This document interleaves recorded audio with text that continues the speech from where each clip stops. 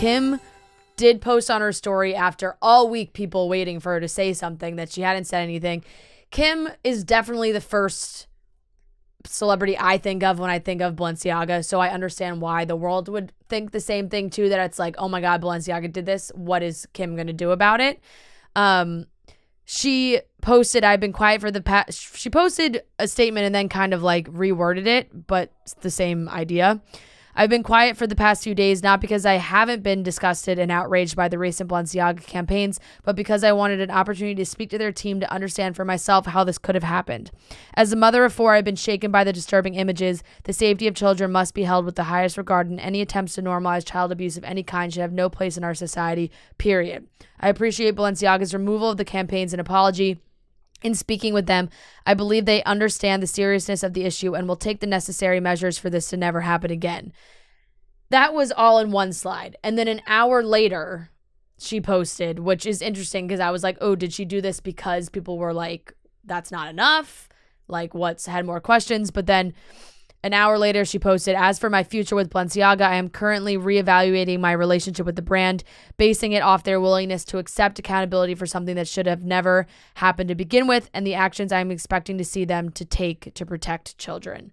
So it's always interesting because you want to know, like, I wish sometimes they would share what was said in these closed door meetings. You know, like if for Kim to just say, "Oh, I spoke to them and I think they'll do the necessary next steps," it's like, well, will they? Like, what did they say? like, t- tell us what they yeah. said, or or put out a different. clearly, they're working. Know, like what the next steps would be. Though. I don't That's know. I don't know. It's it's it's very strange because I I really think if they posted that campaign with the Bears, yeah, and then they took that down and they were like, oh my gosh we totally did not see what people were seeing now. Now we get it. Apologize. People would yeah. not be as mad. It was the court documents yeah. that that made this whole thing like truly even weirder. Like yeah. just so weird. You're like, what are they trying to say here?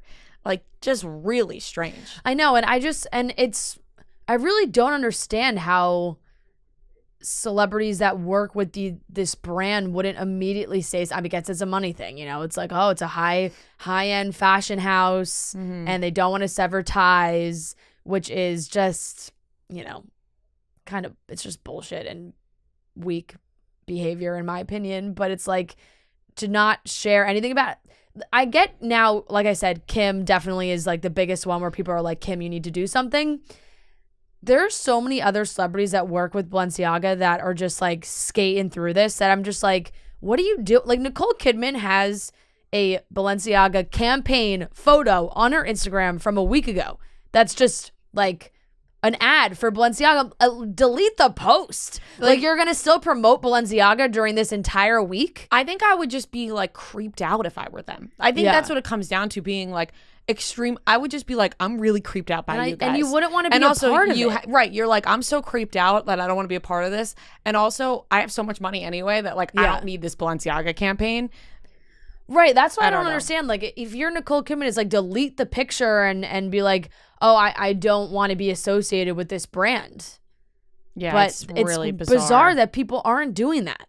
Yeah. And like I said, like this picture, Nicole, this campaign photo f- of Nicole Kidman is just on her Instagram. Right. Just no like, and it's like that for other people too. I think Teresa Giudice was wearing like a Balenciaga sweater or something. People were freaking out at her, but she probably doesn't even know what's going on. No, it's it's just like I don't understand. Really, just creepy, bizarre, and I I do. I don't understand the non-response. Of course, there, has been just a response from the general public mm-hmm. and talking about it, but the it's I don't know if it's like it's Thanksgiving, it was the holiday week. People were like, I'm not doing this right now. But as far as it goes, like celebrities that work with Balenciaga, kind of crickets.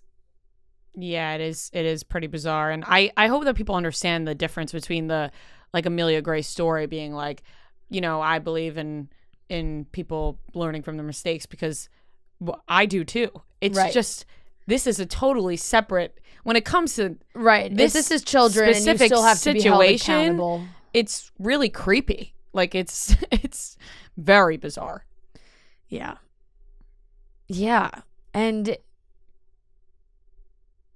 I just still I just really don't understand. Like even Balenciaga I I'm sure they're I'm sure they've hired the biggest PR damage control person that they can find, which is why I'm I feel like there's hasn't been a lot of comments made on their end figuring out what they're going to do moving forward. But like if Balenciaga is going to cut ties with Kanye for what Kanye said. Yeah.